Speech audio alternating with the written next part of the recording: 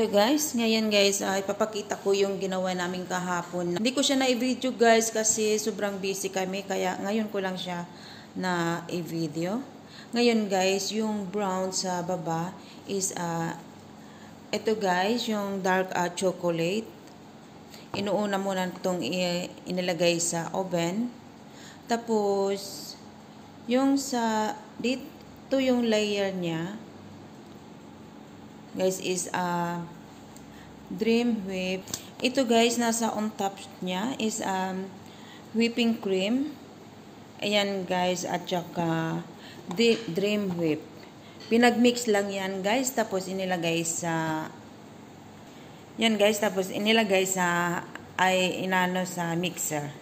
Yan guys hanggang sa lumapot siya. Tapos ilalagay natin sa on top of this uh, the cake the brown uh, cake. Tapos, ilalagay natin sa, free, uh, sa fridge for uh, 30 minutes para siya mag-ano. Tapos, lalagyan natin ng pistachio on top para sa uh, decoration niya. Ayan guys. Sobrang busy kami guys kahapon kaya hindi ko siya na-video. Ganyan siya guys. Ay sa ilalim.